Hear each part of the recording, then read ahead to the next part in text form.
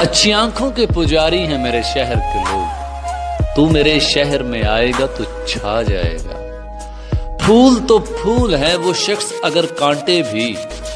फूल तो फूल है, वो शख्स अगर कांटे भी अपने बालों में सजाएगा तो छा जाएगा।